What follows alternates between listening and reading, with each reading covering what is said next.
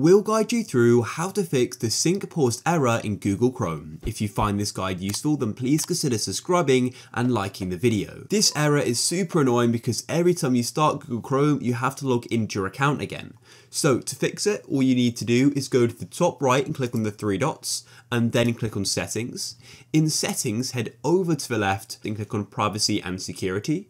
Then go to the bottom of privacy and security and press on site settings and in site settings you then need to scroll all the way down to additional content settings and then scroll down here as well and right to the bottom until you see on device site data. If you're struggling to find this, you can just search your settings for site data and it should appear.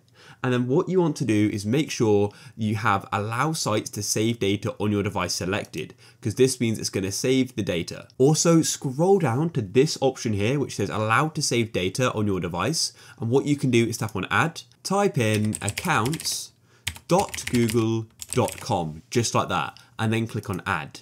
Now that you've done that, what you can do is try closing Chrome and reopening it and seeing if the problem is fixed and that you don't need to go and sign in and the sync is still syncing.